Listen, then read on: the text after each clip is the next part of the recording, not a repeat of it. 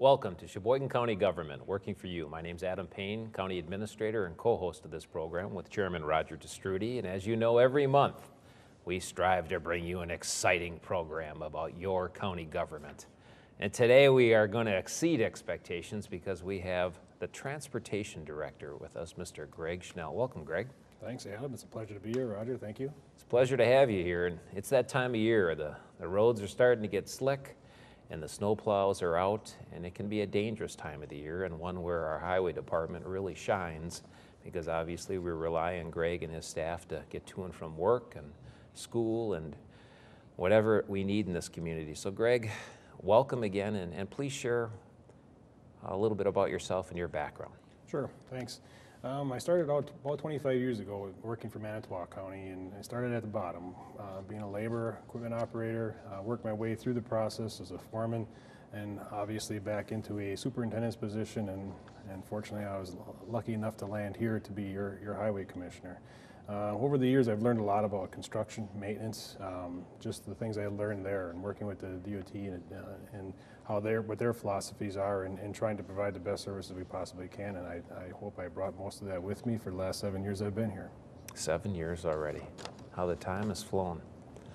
And tell us a little bit about the, you know, the highway department. You started as highway commissioner. Obviously now you're our transportation director overseeing both the highway division and the airport, and we're going to get into that more in a minute. But tell us a little bit about the highway area and how many staff you have budget. We have uh, 87 employees, that's uh, including myself, our mechanics. We have a uh, full um, um, engineering and surveying department that includes our, uh, our mechanics, I think, and administration people. Um, we have a budget of around 14 to 16 million dollars, depending upon the year. Our um, transport, our airport division adds about uh, $400,000 to that as well. So, and that uh, has a staff of um, three full-time and one part-time staff. And we're currently working on filling one position. And one of our big four departments, Highway, Sheriff, Health and Human Services, and, and Rocky Knoll. So what did you say, about a 14 to 16 million dollar budget? That's correct. Depending yeah. on the year. And, and a lot of that budget obviously is road maintenance, infrastructure, but uh, this time of year especially, you got to get your equipment ready, purchase salt, and, and prepare for winter. What all goes into ramping up for winter? Our preparation starts with salt. We have to uh, look at our inventories. We start looking at that in May already so we can procure salt for the, um, the remainder of that year and the following year's winter.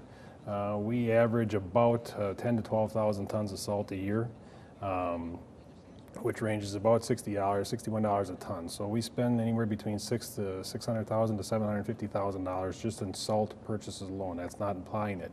So we budget, the county board budgets about uh, one point, or $2.1 million a year. That's the uh, overtime, the application, the salt included in that, uh, blades for the trucks, um, snow fence installation, and um, marking, that type of thing that, that we need to have prepared for winter. So it's, it's huge. It is huge, big expense, and I've heard you say it before, depending on winter conditions, that can have a big impact on the budget. And put that in perspective a little bit for our viewers. You know, you, you get a one, two, even just a three inch snowfall out there, it really requires about the same manpower and, a, and amount of equipment as if you get 10, 12, 13 inches of snow. Is that right? It, uh, it varies, uh, one to two inches. We're going to send out 43 trucks. That's including the state and the county, and then we take care of um, 11 out of the 15 townships as well for their snow removal. So in a, in a three, uh, three inch event, we're gonna send those 42 trucks, 43 trucks. Uh, if we get a little wind with that, we're also gonna uh, add our, our 12 graders as well. Um, so, and then if it ramps up even further than that, when we get to 10 to 12 inches, we'll send out our Oshkosh trucks with big V plows and wings on so we can shelf and push the snow back. Gives us a little bit more horsepower to get the stuff. We don't technically like to use those too often. Uh, some of them are getting up there in age, um, so a little more difficult to find parts, but we are one of the few counties that has a few left just in the event of that big blast that uh, we need to take care of. And how many roads are you carrying forward during the winter? Our county trunk system uh, is comprised of 450 miles. We have uh, 465 miles of township road that we're uh, responsible for and 170 miles of state road. And the reason I asked you that is because People sometimes lack patience this time of year, and if we're going to be safe out there, you got to slow down and you have to be patient. And when you're dealing with over a thousand miles of roadway, you're not going to get to everybody's road first. Nope. So talk a little bit about that. What can people do to, to better understand, to take some time? What are your priorities, number one? And then number two, when they come upon a, a plow truck or someone, you know, working out there, what's the best way to manage that situation? Well, the, um, in an average snowstorm, we, uh, will start, if it's overnight snowstorm, we will start at four o'clock in the morning. If it's uh, a little lighter snow, let's just say one to two inches, we'll get going at four. If it starts to get a little bit more than that, we'll come out at three o'clock. Um, we're gonna hit our state and our county roads first. Uh, simultaneously, those guys will be uh, dispersed. And, and um, as we can get those cleaned up and get everybody to where they need to be off of those roads, then we'll start moving into our municipal roads that we have to take care of you know, we just need time. That's what it is. Uh, It's nothing that we can control. We, we want to be safe when we're operating our equipment, so we have to take our time in pushing that snow. Um, give us space. You come upon, come upon a snowplow, give us a couple hundred feet. They have a very difficult time seeing behind them, especially when they're using, we, we've just this year, we've added uh, quad axle trucks to our fleet, which are, uh, it's just a huge truck that it's hard to see what's behind you. Um, so if you give us the space, give us the time, we'll get to, you- we'll get you where you need to be, but you just gotta be patient, give yourself a little time to start earlier in the morning, and obviously slow down. We don't want to have an issue like they did down south near Milwaukee with the 60 cars that piled up. I know from time to time, any of us or board members might get a call from a constituent saying, doggone it, that plow truck just went by and my mailbox got wiped out. And I've heard you give me this explanation a number of times that it really depends on the weight of the snow and the conditions out there. So what generally is the cause for someone losing a mailbox? And then secondly, what do people do? Well, As you can imagine, when you have a uh, 10 or 12 foot snowplow, and then you add a 13 or 12 foot wing on the end of that, and you're taking the snow from the center of the road all the way to the shoulder, if the truck's going 25 miles an hour, by the time it hits the end of the wing, it's coming off a lot faster. That snow and that volume, depending upon that weight, will take off of a mailbox instantly, at- at- even if, if our guy's going 25 miles an hour, if it's not secured properly. But it's the snow hitting the mailbox, not the wing. That's- that's Just So folks are clear on that. So when we get the call, what, what our action is, is that we will send out our shed supervisor from that local area to investigate whether we hit it, backed over it, and it has happened that we've wrecked some and, and, and did hit them. Um, if, if there's no physical evidence of us hitting it with the wing or the plow, it is the responsibility of the homeowner to fix that. If it's us, we will replace it or fix it with a like, I should say that, it would be a, just a normal mailbox that you'd pick up at Fleet Farm or Menards. So again, it's more often than not just the weight of the snow. If it's a heavy, wet snow coming off that at 25 plus miles an hour, that can damage it. And in those instances, the owner's responsible. But if it if it's our fault where the wing literally hits it, then obviously we'll replace that. And they contact the highway department. That's and- correct. Very good. Very We'll good. send somebody out. And last question before- before I turn it over to Roger, uh, what about um, driveway entrances and, you know, the easements along there? What's the responsibility of the county versus the responsibility of the, of the landowner? Your, your driveway is your responsibility, and what, what we're running into, we see more and more issues of, uh, of people pushing their snow across the road in order to get rid of it or, or uh, just to have it out of their yard. The county does have an ordinance against that. It's, it's uh, ordinance that um, placing things, obstructions in the right of way. Um, the fine is not much, it's only ten dollars, but um, I know a lot of people don't like the fact when we go and, and visit with them and say, hey, don't do this anymore, but when you look at it from our perspective, um, when there's a pile of snow that's typically not there, and if it's not pushed down level with the ditch, as we go through our freeze thaw cycles throughout the winter months, that turns into a rock. If we hit that with our wing or our plow, one, it'll damage the truck, and two, it could send our truck across the road into, into oncoming traffic and cause a severe accident, and uh, that's not something any one of us want to deal with. At that point, when it's placed in, in, in our right-of-way as an obstruction, it then is the responsibility of the person that placed it there. So there is going to be some shared liability with those types of situations. Very good. And as you said, though, we're not looking to fill people's end of the driveway up. When we come by and plow, it's their responsibility to clear that, not, not ours. We don't want to put it there on purpose. We don't want to deal with the snow any more than anybody else does, so. Right. Very good. Thank you, Greg. Thank you, Adam. Uh, The, uh, having served on the county board for a number of years and on the local town board for 12 years, I have maybe a more of an appreciation than some people do of how the uh, Highway Department helps local municipalities and we work together.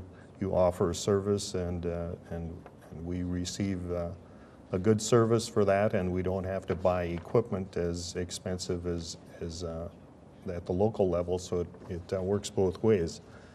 But, uh, and another thing, not just the snow plowing, but in the summer months, uh, would you tell us a little bit about your summer operations and how the uh, blacktop plant fits in and how, how you work with local municipalities with these things? Sure.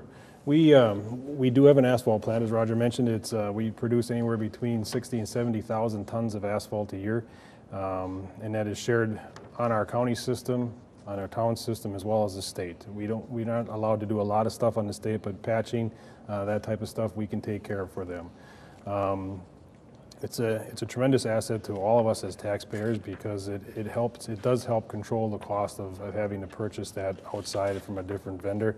Um, Along with that, we also have a crushing operation where we have uh, contracts with some um, local property owners where we produce and, and, and create the aggregate. So we're not having to buy a lot of that and haul it into our asphalt plant. We're in a situation where, where it's all stationary and it does control or reduce the cost of our asphalt.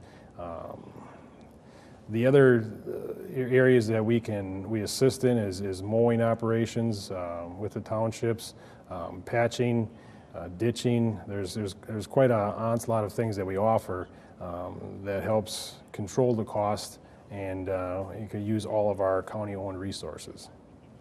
And uh, getting back to the blacktop plant, a little, um, couple of years ago, we, we purchased, uh, uh, uh, let's see, the RAP system, and you were able to use recycled material. uh, If sometimes people see blacktop being ground up, it can be used. Do you want to explain that a bit? Sure. As, as years uh, have progressed on, on a lot of our highways, we continue to put overlays on, which could be between an inch and a half to two inches. And we keep on raising that pavement year after year, or not a year after year, but every 10 years or so when there's a, a surface treatment done to it. Eventually, you start to lose your shoulders and your, and your slopes going into your ditches and also uh, messes kind of with the profile with uh, the roads coming onto it or driveways. So we want to knock that down. So we can take those, uh, take a milling machine, um, come through, mill off that top couple inches, whatever we want to take off. We haul it back to the plant, recrush it, put it back through, and utilize the oil and the aggregates that are in there. And we're saving ourselves anywhere between three to four dollars, four dollars a ton that we don't have to make uh, out of virgin materials. So it's it's a it's a tremendous savings for us and has paid for itself. I would say almost twice already. And even in villages, you often see the curbing, and the curbing is in good shape, so that gets milled off, so there's not a, the, the curb is lost and there's no, nowhere to go with the water also. Correct. Yep. Uh, What does your department do uh, if there's emergency in the summer? Uh, How, how do you handle that, and do you work with the sheriff's department, or how, just, how does that work? If it's during the off hours, yes, we're paid by the sheriff's department. We have uh, on-call staff that are uh, available at any time. And uh, one thing about highway departments is, and then we're kind of the, um, I guess the, one of the last call, first calls, but uh, the least visible. We're, we're there for the traffic control and setting up the perimeters and a lot of times with chainsaws. So our, our application, we have to have enough stuff um, in order as far as uh, controlling traffic and setting up detours. So we have specific trucks that are set up for that. We have specific trailers with enough uh, signage on them that, so we can make our detours longer if there's a bridge out or that type of thing. So when you look at the highway department, it's not just putting asphalt down, rebuilding roads and snow plowing. There's a lot of other emergencies that we're involved in. If it's heavy wind or hail or uh, you name it, flooding, we're going to be involved in it. Roger, did he just say that they control traffic with the use of chainsaws? It's just something like that, by, by dropping a tree in the way, that I stops see, them. I see. They have to go a different direction. Yeah, There you go. Well, it, it's much appreciated. Uh, Sometimes the windstorms not only affect the electrical lines when they get knocked down, but people are sometimes trapped. They can't get around on dead-end roads and everything, so sometimes it's just a matter of getting the tree out of the way and clearing up the debris afterwards, just bet. opening it up to traffic. So that's always appreciated. We do have a, a large project scheduled for last, uh, for this, this coming year, and we had some funds coming from the state, and that's the Dairyland Drive and LS project. You want to explain to our listeners how that worked out and what the problems are and how they were solved? Sure. We, uh, we worked with the town of Mosel um, as far as uh, what their need was and what our need was. And I'll start with our need first of all. On County Trunk LS, north of the Whistling Straits Golf Course or north of County Trunk MM, um, the bluff was eroding away due to um, some groundwater problems as well as the elevation of the lake. Um, it's gotten to the point now where it's become dangerous that the road almost needs to be closed um, if we don't do something immediately. So we started probably back in 2010 to develop where we're going to end up with this road. And, and um, at this point, we are going to be moving the road to the west of the properties alongside the, the, the lake uh, in that area. Along with that, though, we've had some participation from the state to, um, I guess, integrate our systems, if you will, with a town road versus a county trunk. And we're going to be swampy roads with the affected communities along County Trunk LS, which is the town of Sheboygan, town of Mosel, town of Centerville, and the village of Cleveland, and Manitowoc County. The counties will be taking over Dairyland Drive, which was an old federal highway, which is built to a very good standard with concrete, uh, big wide shoulders. And that's going to be where we want to try to force the bulk of the heavy traffic or the most of the traffic. And an LS will be created into a town road, which um, they would like to limit it to traffic as much as possible, at least the, the heavy traffic. So when this is all said and done, hopefully by the end of September next year, we'll have all new pavement coming out of the city of Sheboygan all the way into the village of Cleveland on LS, as well as on Dairyland Drive. Um, Dairyland Drive's name at this point hasn't been uh, changed yet. Um, we're working through some of the, the issues with that. Same with LS. It will no longer be, it'll be, it'll be Dairyland Drive as far as an address goes, but as far as the designation of whether it's going to be DL, DS, DD, whatever that's going to be, will be named probably sometime in, in uh, early January. And as far as uh, LS goes, my assumption is it's going to be Lakeshore Road because out of the four munis- five municipalities, four of them are already using Lakeshore Road for an address, one is not. So um, there would be a minimal change there uh, when it does happen. So uh, all in all, it's about uh, 70,000 tons of asphalt that'll be going in that corner of the, of the uh, county. Um, We're getting $4 million of uh, outside funding from the state of Wisconsin to help assist this. And uh, by September, I hope my gray, my my gray hair will start to turn black again. Well, thank you, Greg, for all the work that you and your crew do to keep uh, the roads safe in the winter and uh, upgrade them in the summer. Thank you very again. much.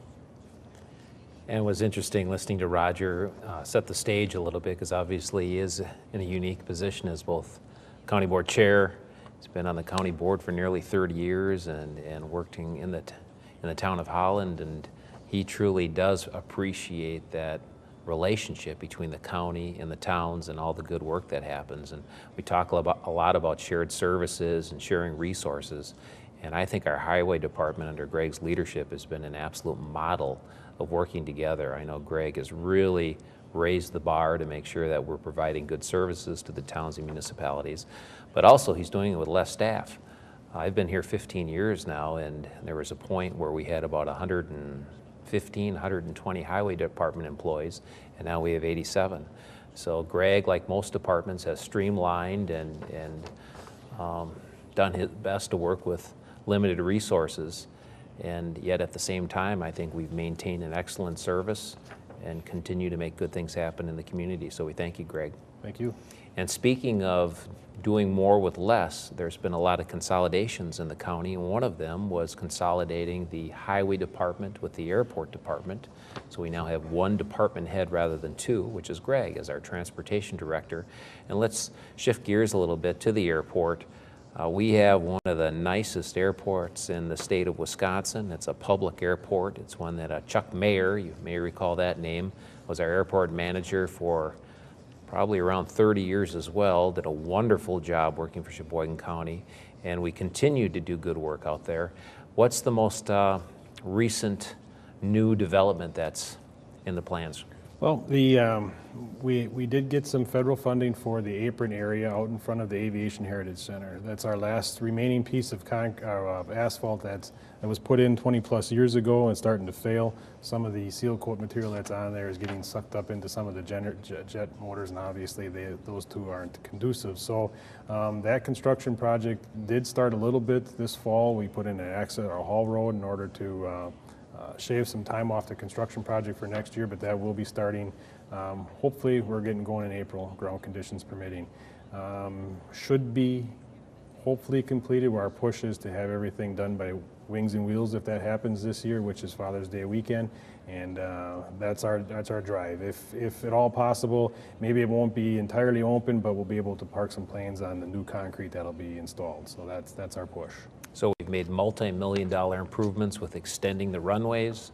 We've now fenced in the entire airport. We've improved the parking. You're now looking to improve the, the tarmac or the apron area. Yep. We have the Heritage Museum out there, which is a beautiful amenity. And uh, you really have done all this with the same number of staff. Just how enormous is the airport department staff? And then also, just how big is the airport uh, state, when you look at it statewide? The, um, our airport staff uh, consists of an airport superintendent, which we're in the process of hiring for now. We have two full-time and one half-time individual. They take care of, of um, plowing all the runways, which I, I, I, if I have a committed memory, it, it you know, it goes to five miles, but they're real wide and, and uh, you have to plow along, around the lights and that type of thing. Um, so it takes a fair amount of time. Plus, we have a thousand thirty acres that we maintain of grass. That's inside and outside of the fence. So those are all of our responsibilities: the lighting, the navigation system, the um, the fencing, the gates. Um, so that's an enormous staff that we have out there, Yeah. and, and they do a wonderful job. We are. Um, I'm finding out more and more as I get into this job that uh, we're recognized as one of the uh, jewels of, of the of general aviation. We also are you know, home for um, 39 uh, individual private hangars and, and I think 13 commercial and industrial hangars. So we have a busy airport. Um, I, there's a lot of people. I think we run through about 800,000 gallons of, of jet fuel a year, uh, and so that, that's a lot of stuff. And we have a FBO provider out there that uh, supplies those airports with that fuel, and, and um, and we're working on building more of those relationships uh, with, with more commercials as we as we have the property to, to facilitate that. If memory serves, it's about the 10th busiest public airport in the state. And you said, and I meant that tongue in cheek, obviously, uh, three and a half staff essentially maintaining the entire multi million dollar airport that is critical to our economic development and success as a community. That's correct. It's uh, it, it takes a lot to get it done. The, the guys that we have out there have been doing it for a long time, and they take a lot of pride in keeping it up. So, as you, in the few minutes we have remaining, I know that you're always looking down the road on necessary infrastructure pr- improvements, things happening at the airport. You just talked about two key projects, Dairyland Drive and LS, the apron at the airport. What else do you have on slate for next year or in the next five years? We're looking at um, uh, not next year, but the following year, putting in a uh, safety improvement down at the intersection of County Trunk A and EE, just south of the Deer Trace Mall. Um, We've had uh, numerous accidents there, and we did receive some federal funding to build, we're looking at as a roundabout. Uh, That'll be happening in 2015. Um, We're working on design of County Trunk OK, where we left off this year at the intersection of uh, OK and EE to go south down to the interstate. Um, That would be a a 2016 uh, project. We have a couple bridges. County Trunk DE is a bridge that's going to get replaced this year.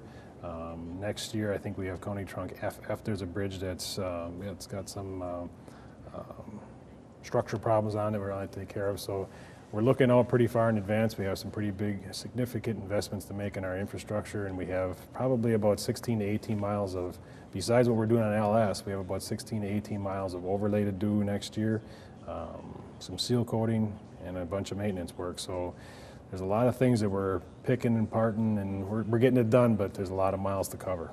The work goes on, and, and as we all know, it gets more and more expensive, whether it's uh, new blacktop or the cost of oil or what have you. It, it's getting increasingly expensive to maintain and improve these roads. Yep, equipment's getting larger and it's getting more expensive. We just uh, purchased two new snowplow trucks and, uh, you know, they're $300,000 a piece. Uh, years ago, that was, you know, considerably less, but it's, it's, it's a cost of doing business. And uh, um, unfortunately, we have the other animal and that's, uh, you got construction, you got winter. And we all heard what, what winter can cost us.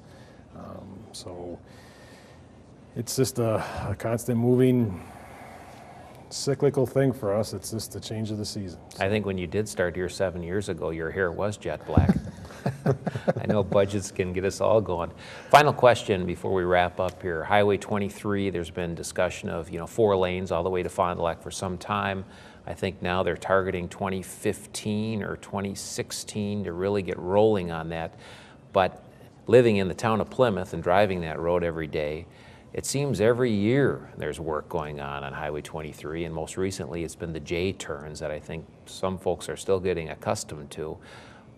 Briefly explain who does that work and why did they make those changes? The, uh, the changes were made um, for the fact of, of safety. There was, uh, each one of those intersections had somewhat of, of um, accident history at them. And uh, they, so the applies for the same types of funding that I get. So some federal funding in order to uh, improve those intersections or make them safer. Um, It's not out there yet if they're the best thing that we can possibly put out. There's another one built um, up in Green Bay that was built last summer as well, so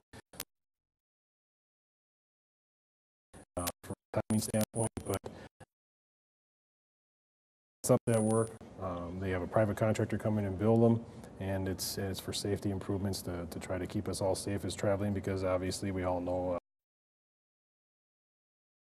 Like 50 that state work Correct. there's there that I know um, getting a little impatient with it all, but in the end they've got much better. It's, um, you know, uh, construction, such a short little time window to get everything completed, and that's what we- you know, uh, it's hard for me to, to and summer, but we need it, we need it on both ends. The work needs to be completed. Uh, we can only work during the day in most cases. We are doing, trying to do a little bit more night work now, but, uh, it's, it's still an inconvenience no matter what, because people are constantly moving. We got shifts and, uh, and manufacturing that has to go on, so we, um, we have to work around everybody and work well in the sandbox, if you will. Well, Greg, thanks again for joining us today, and thank you for joining us. I hope you learned a little bit more about our highway department and airport, and if you have additional questions or something you'd like Greg to think about or respond to, don't hesitate to contact him directly. He's one of 18 departments, uh, one of 19 excellent department heads, and I hope as you got a feel for really making good things happen in Sheboygan County. We didn't talk about it, but Greg also collaborates very with our Planning and Conservation Department, Aaron, and Aaron Brault, our, our department head there, on the Old Plank Road Trail improvements and other non-motorized trail improvements. And next month, that's who's going to be here, Aaron Brault, Planning and Conservation Dir- Director, to talk about the very important work they've been doing, not only with trail development, recreational opportunities, but the huge, huge uh, achievement of cleaning up and dredging the Sheboygan River and Harbor. So Greg, thanks again for joining us. Thank you and your excellent Highway Department employees for the good work you do. And thank you for joining us. Until then, on behalf of Roger Te Stroete and myself, Merry Christmas and Happy New Year.